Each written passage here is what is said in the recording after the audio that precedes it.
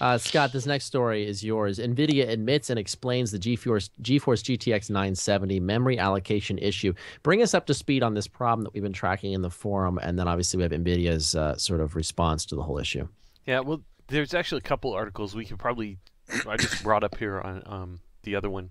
Uh, this is this is kind of it started in in the forums because people noticed some behavior uh, uh on their own GeForce GTX 970 graphics cards where uh, the card did not appear when you're playing games and when you're in a situation where you're near the end of use, using all of its memory. Uh, they noticed that it didn't use all the memory. Looks like it's it tended to stop at about three and a half gigabytes, and they compared it to a GeForce GTX 980, which is based on the same chip, but is a full implementation of that chip, and they found that the uh, 980 uses more memory. And then, and, and, this there's a thread in our forums with this.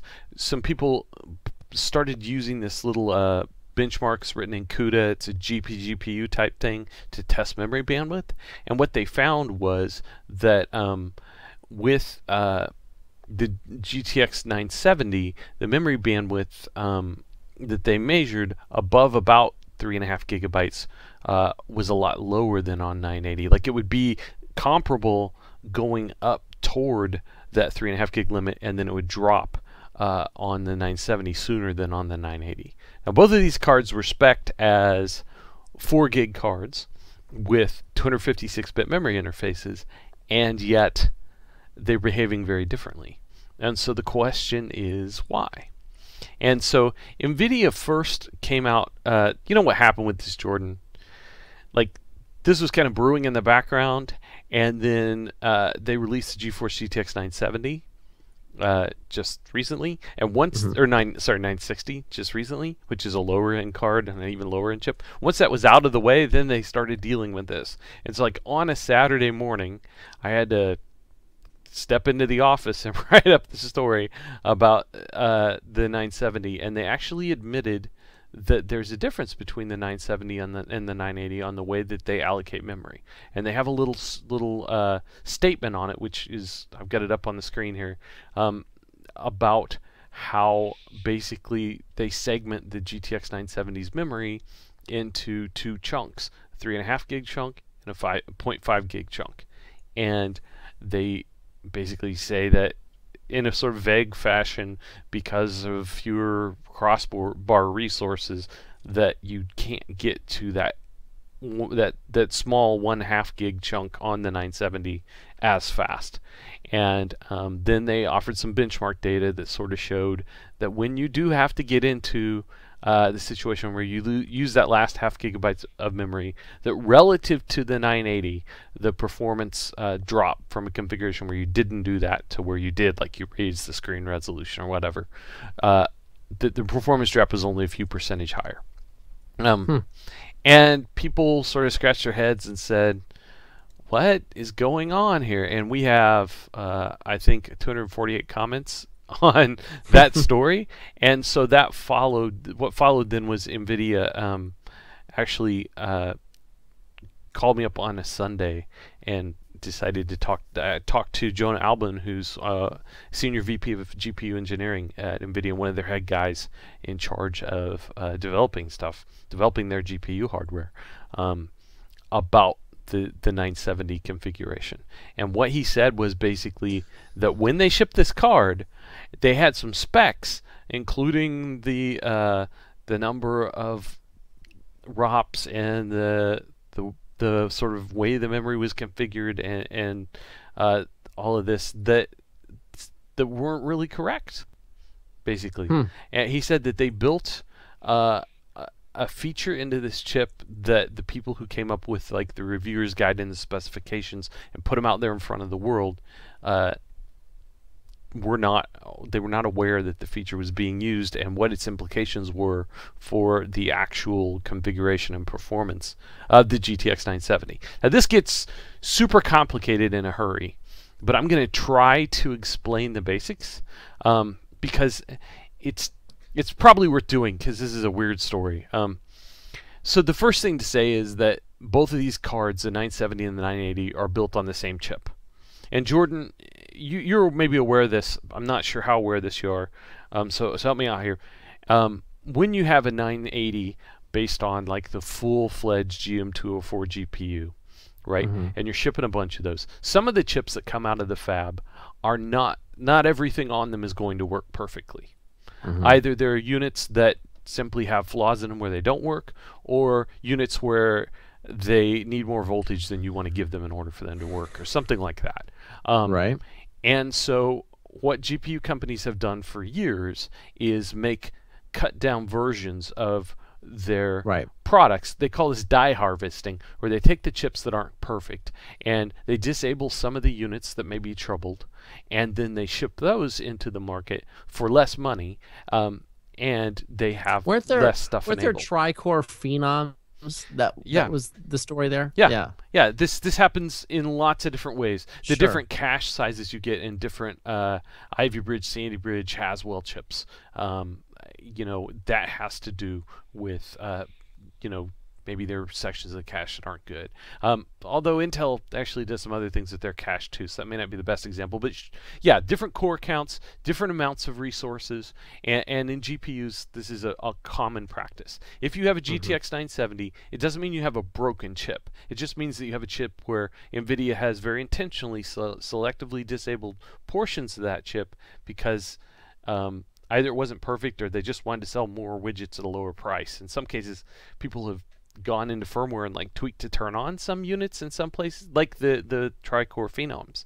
They're able to turn those into quads in some cases, and it was really actually maybe those cores worked okay, but AMD needed to lower prices and didn't want to kill the sales of the high end ones, so they disabled the core Right. and shipped it. So, um, anyway, the 970s are a die harvested version of the GM204 chip, and they have bits disabled.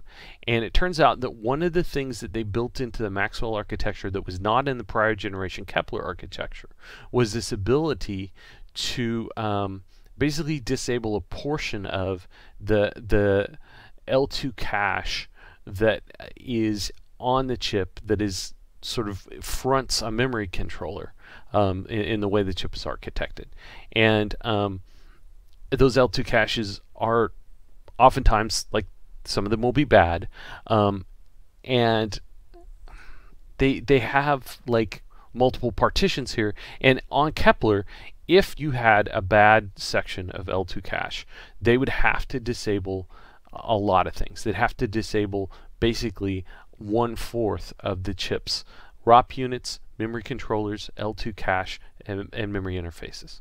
And so you have products like uh, what was it, the GeForce GTX uh, 660 Ti, I think, uh, that that are basically like they were the old GK104 chip with the 192-bit memory interface instead of 256-bit, where they had selectively disabled, you know, a quarter of the memory subsystem because of a bad cache. When they built Maxwell, they built in a feature where they could selective, selectively disable basic, basically half of a cache partition or, or one eighth of the total level 2 cache in the chip if it was bad. And um, they'd still be able to access all like 4 gigs of memory, but they the problem is when you turn off the L2 cache, you lose one of the internal connections to this like switch fabric on the chip that connects the L2 caches to the shader core. Uh, and when that happens, you lose bandwidth.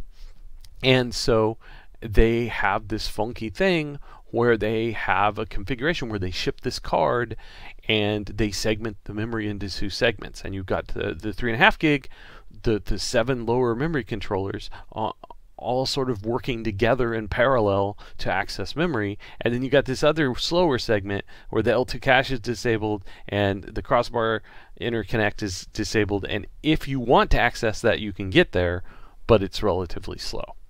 And hmm. so uh, this, I don't know. I'm not getting into all the technicalities. The article will explain about how uh, they they stride across uh, 1K blocks to distribute uh, data across the seven, or in the case of GTX 988 memory controllers, so that all of them can be accessed in parallel when data is read sequentially.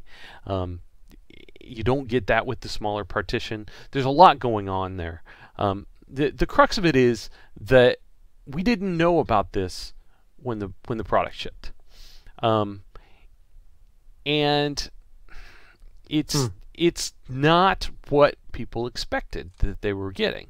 Now, we reviewed this this card, Jordan, and we tested its performance in a number of different configurations, a number of different situations, a number of different games. And it's, the GTX 970 is a fast video card that is a good deal for the price. Um, but the specs are not what you thought. And actually, this has some additional uh, uh, ramifications. The, the the way that this is configured, uh, there's actually with the L2 cache being disabled, there's less ROP throughput, which means less pixel fill rate, less anti-aliasing power than originally was thought, um, and you know it's just a little bit messy because and, and Jonah Alben told me he said we screwed up. This this is messy because Nvidia did not communicate well uh, the specs of the card when they launched it. Hmm. And so they're coming out now, and they're they're being very, I think, very forthright. I think they're telling us pretty much the like how it really works now. But um, you know, the implications of it are just a little bit frustrating for people who bought the card thinking they were getting one thing and found out they're getting something else. Now, yeah, performance-wise, you know, there is an issue of you know what happens when you go beyond three and a half gigs and you need to use that last half gigabyte on a GTX 970 and pretty much what you're going to get is is you get seven eighth of the bandwidth in that lower three and a half gig segment and you get one eighth of the bandwidth in the upper uh, half gig segment. And so it's slow. Um, I Jonah Alben contended when I talked to him that even though it was slow, that it was faster to have that half gig on the card and access it when you needed it than to to spill out of memory because then you're going over PCI Express into system memory. That's the next thing that happens, right? So they have the big segment, they have the little segment, and then PCI Express. In a GTX 980, you just have a big segment and then PCI Express. But in this case, he was saying, look, this this configuration with the slower half gig memory partition is still superior to a card that just has three and a half gigabytes. So we think that's good. And, and again, they're sort of maintaining that the uh, the performance impact of it is not that great. The other thing that they've said is that they can use some heuristics in their drivers to store data in the last half gig partition that may be necessary, but isn't accessed commonly. And so the idea is kind of that you try to watch the way that memory is being used, store certain things. I think he mentioned bitmaps as one of the possibilities. So the, the, but I'm not sure that's, that's a really great candidate or not. But you store some stuff in there that you may not need very often, so you don't have the most demanding or frequently accessed data in that last half gigabyte. But it's there if you need it, and it's better than going over PCI Express. So that's the that's kind of their take. Um, you know, it's what they were trying to do here. I think was clearly prevent people from getting too upset because they sold like Jordan. I think they sold nearly two million 970 and 980 cards. They have really Whoa. had a big success, and now they have a lot of people who own these things and are finding out uh, this isn't what I thought. Um, and so I think this is a, a it's a liability for them. Um, and you know, I, I kind of have two minds about it. I I think that it's true that they didn't communicate well at first. I think they should have communicated well at first. Um, I also think it's true that uh, the the product that we reviewed performed like like it did when we reviewed it, and after knowing all this, it performs the same right? Now you can look up look for particular scenarios where like with 4K and and certain games that have lots of textures and a big memory footprint, there may be situations where between the 970 and the 980, the 970 suffers in performance because of this memory config. Um, so that's that's not great, but I think those situations are going to be relatively rare. Um, and you know, I'd have to burn a lot of time. I think people are expecting me to burn a lot of time testing all this. And I'll tell you what, I've been working on another project so far. I haven't yet done that. Um, but it is an interesting question. you know how much of a sort of marginal performance difference is there uh, between like a 970 and a 980 because of this config in the places where you push and you find problems because uh, and how common are they and so I, I don't know the answer to that um, you know the the other thing I'll say and I didn't really say this in the write-up but you know I think NVIDIA was in a, a weird spot here um, consumers who read the tech report are educated consumers people who buy these video cards are not all educated consumers in the same way that our readers are. Uh, I think you understand that. I mean, that, that just happens. One thing that people buy video cards on is a key metric. Like, what do they think of? People who are sort of been doing this for a while and aren't really into the deep, detailed stuff, they're like, oh, I want a DirectX 11 card.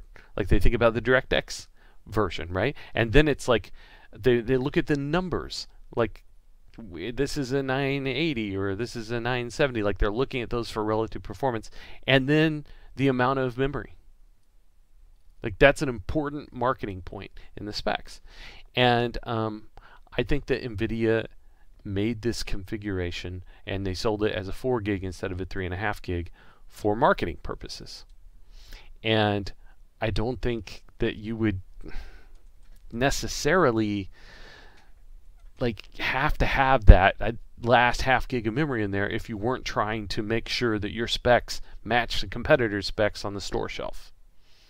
Um, that's a hard reality, and I it, it may be true. I think it is probably true that this last slow half gig of memory is better to access than going over PCI Express, but it is not the same as a 256 bit 4 gig configuration where everything works in parallel and you get all the sequential data uh, uh, you know coming streaming in like you would in an optimal situation on a GTX 980 um, so you know I don't know if I bought one of these I'd be like frustrated but I also think it's still the best video card for that for the, for like that segment now th- these things have changed some because um, AMD cut prices a whole bunch on the R9 290 recently.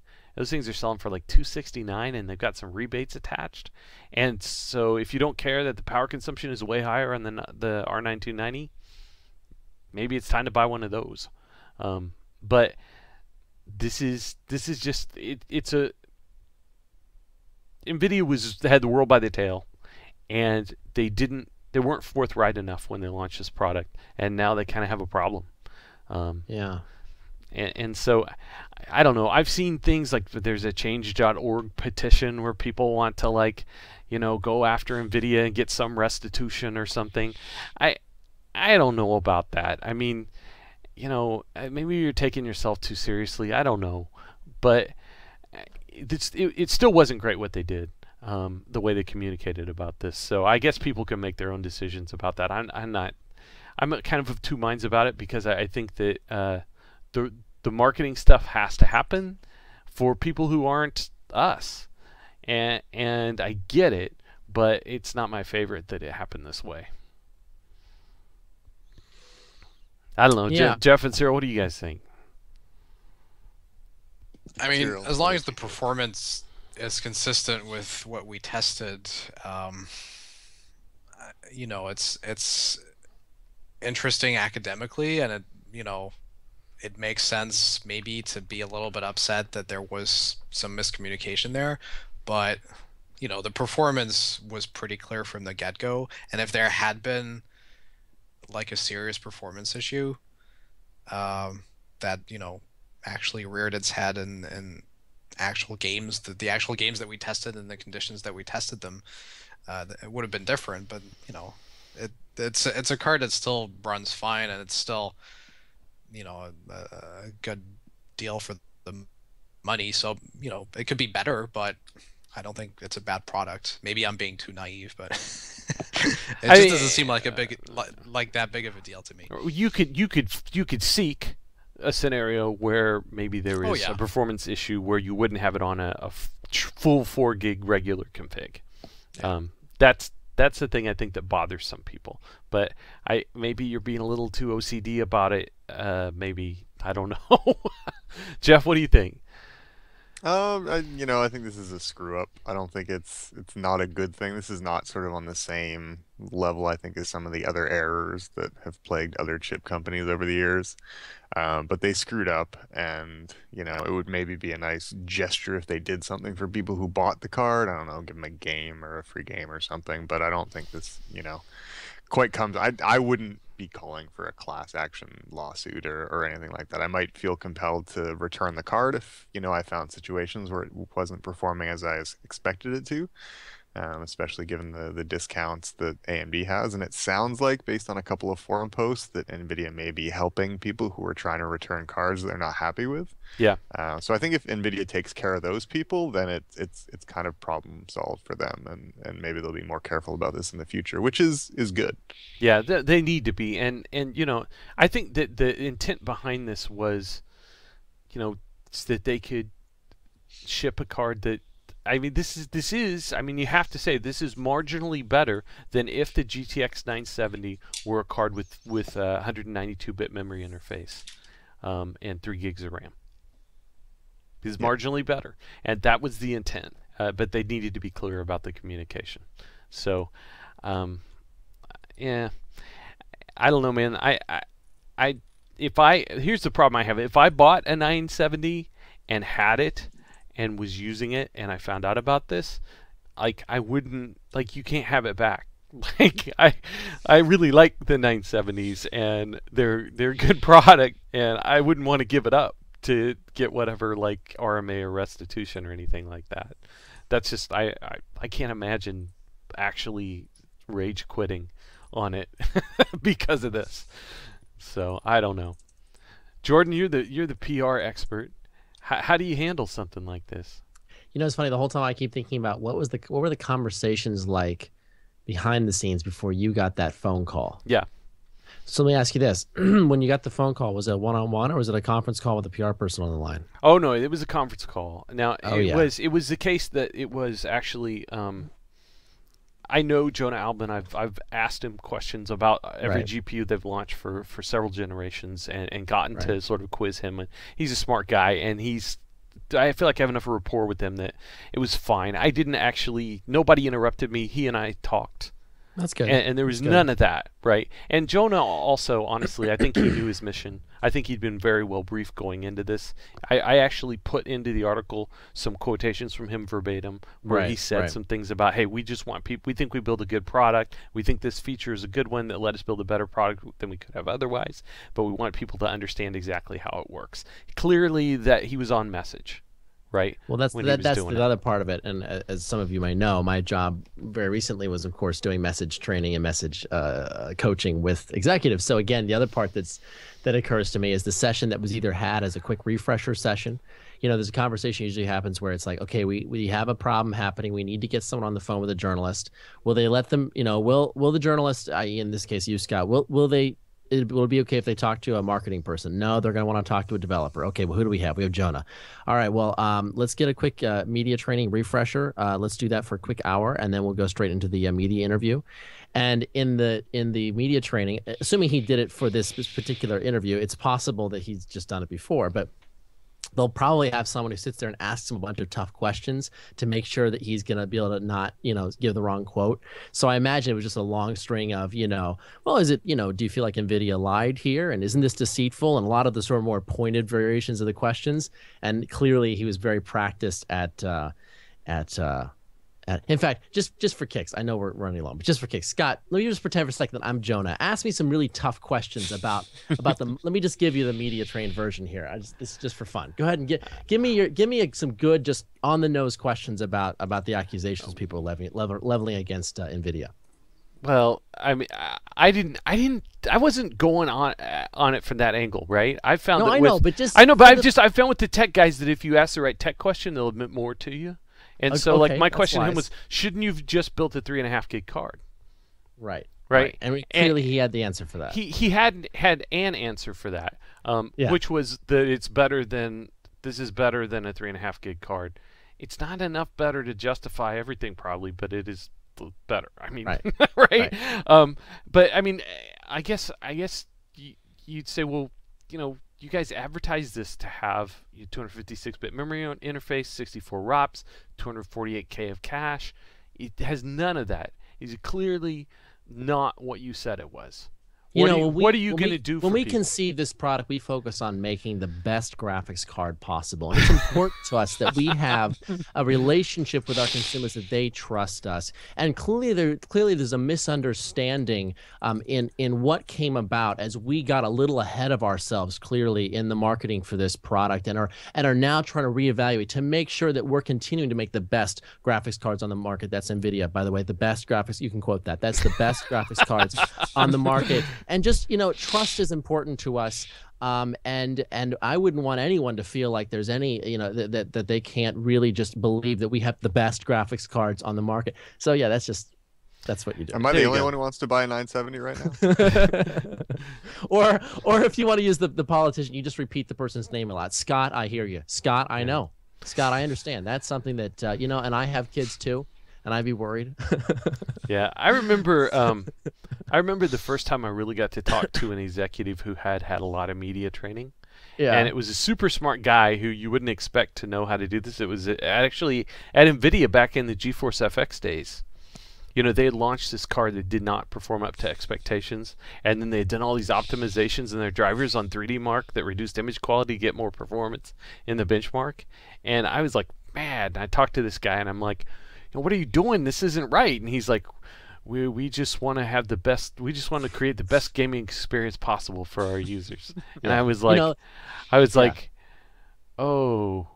And I had I never encountered that before. It's like like trying to kick a marshmallow, you know? Yeah, exactly. And, and it, it takes time to figure out how you go about having that conversation and getting enlightening answers out of somebody who is trying to be on message. In this case, you know, I, I, I didn't think it was You like well. Super well. scandalous, but I was able to get him to sort of talk a little about that the some of the pain points. One thing that, that is a pain point that we should I want to mention that, that I didn't talk about in the article is actually what happens. I'm going to on the screen here if people are watching the stream. There's this half gig partition of memory, and you can see actually the crossbar interface then uh, for this half gig partition of memory is shared with the uh, the seventh memory controller uh, supposedly on the chip. the one that's not working, right? And well, the one that's not working is is on the eighth one, and so it Oh, shares see. the, the L2 cache and Crossbar Connect with the seventh one, and, and the seventh one is supposed to be part of this three and a half gig lower memory segment, and um, then you've got this upper memory segment of a half gig, and th- it's supposed to be one eighth the bandwidth on the half gig and, and then seven eighths the total bandwidth on the lower portion. The problem with that is that you actually don't have seven eighths worth of bandwidth on the crossbar. You only have, or sorry, eight eighths worth of bandwidth on the crossbar. You only have seven eighths total. Hmm. You cannot concurrently access the half gig and the three and a half gig at full speed. And the L2 cache for that half gig one is shared with this, uh, you know, seventh memory controller. So the question is, wouldn't it slow down the entire big array to have this configuration if you're accessing the half gig, splitting the cache, and sharing the, the crossbar? And I asked Jonah about that, and he was kind of like, "Rrrr," like he didn't really give me a good answer. And I didn't press as hard as I should have. I was working hard trying to get notes and and, and trying to understand it. And I, I wish I, I I'd like to circle back on that. But honestly, I think that this config is is um, probably uh, less than ideal for this half gig of memory. Uh, in part because they had to sacrifice to make sure that the three and a half gig portion uh, got priority. I would assume that's what their their logic looks like. Um, and you know, without as much cache, without its own dedicated crossbar, that's going to be slower than one eighth. Uh, I, that's my take on it. So I I don't know. I, it's not the end of the world, but uh, it's interesting. Um, there is a there's a question in the chat room. Was this an intentional des- design decision, or or was this a way to use chips that didn't test to 980 standards? I think the answer to both is yes. It's not an either or. This was an intentional design decision born out of the experience they had with the GK104 and prior chips, uh, where they figured out a way to disable selectively a portion of the chip and not have to disable as much as they would have in past designs. So Maxwell architecture has this provision built in, and it is to deal with exactly the scenario where you have some L2 cache that doesn't work right.